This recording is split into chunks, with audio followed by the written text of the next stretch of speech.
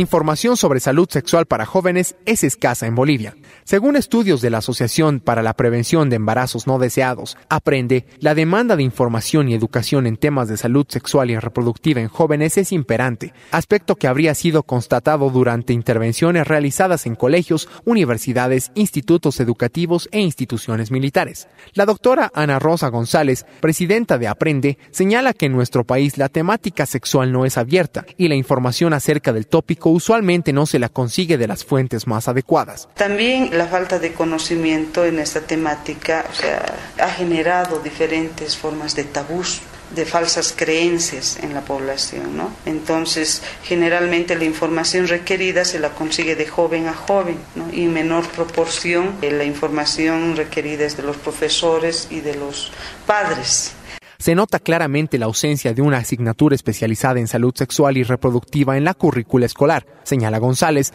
a tiempo de explicar que según sus datos, muchos adolescentes esperan la información de sus profesores de colegio, por tanto la capacitación en estos temas es fundamental.